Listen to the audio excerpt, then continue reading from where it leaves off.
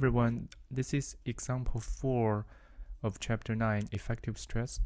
In, in this example, we are given a more realistic soil profile. So we have a sand layer on top, a clay layer in the middle, and also another sand layer, sand gravel layer at the bottom. Okay. And we are asked to do, determine the effective stress at point B. So point B is located at the middle of the clay layer.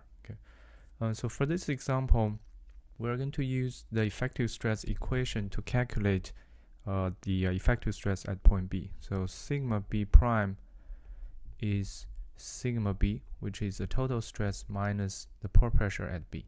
And the tricky part of this example is um, this uh, we don't know uh, the pore pressure at B.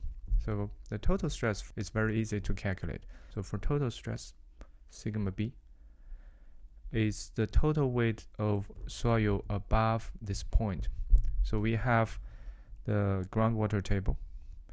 And we know the saturated unit weight of the sand layer on top. We know the saturated unit weight of the clay. So this total weight is, so we have 5 feet of sand gravel. So that's 5 feet of gamma saturated sand plus um, so since point B is at the middle of the clay layer so it's going to be uh, one half of that 15 so we have 7.5 so 15 over 2 so that's 7.5 feet of clay above point B. So we have gamma saturated clay okay. Right so if you plug in numbers so this is 5 times 125 plus 7.5 times 100 so that's a unit weight saturated unit weight of clay. And this gives us the total uh, this is the total stress of uh, at point B. So this is 1375 unit is PSF pound per square foot. So that's the total stress. That's relatively easy to calculate and then the tricky part, as I mentioned, is the pore pressure.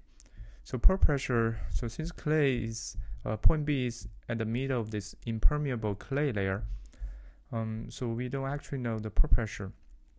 And the way we're going to find the pore pressure at point B is to use interpolation. So we're going to look at the pore pressure at point A and then the pore pressure at point C.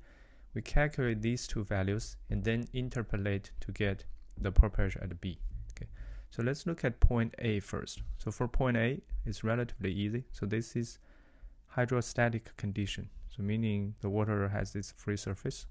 So if you put a standpipe, you know the water is going to rise to the free surface.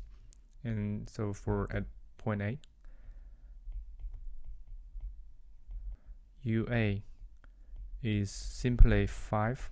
So that's a height of water table times the unit weight of water 62.4 so the pore pressure at A is 312 psf pound per square foot.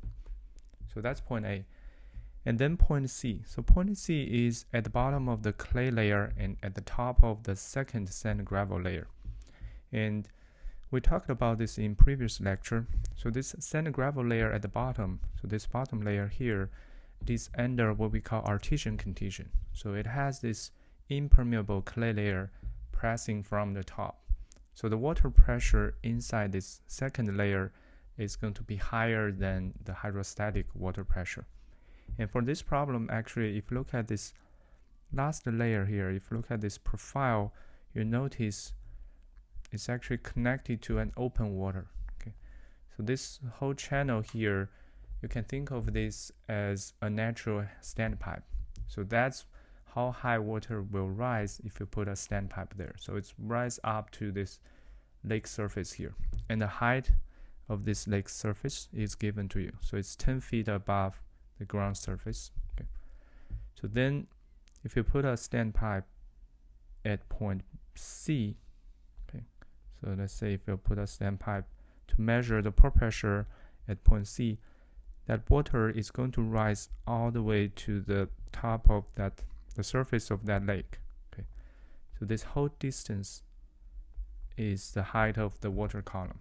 Okay. and So again, think of this again think of this as a big standpipe here. So this is a natural standpipe. Okay. okay.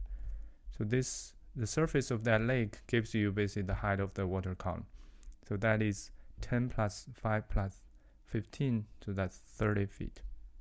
So you have 30 feet of water. So that gives you the way to calculate pore pressure at point C. Okay.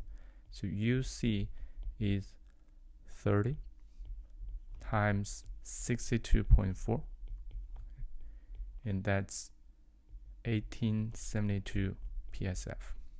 Okay. So once you have the pore pressures at point A and C, then at point B, we just use uh, interpolation. So it's uh, it's at the middle of the clay layer. So use B is one over two UA plus UC.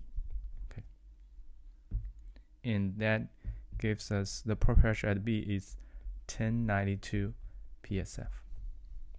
Okay, so now we have the total stress at B, the pore pressure at B, then the effective stress sigma B prime is sigma b minus ub and that is simply 283 psf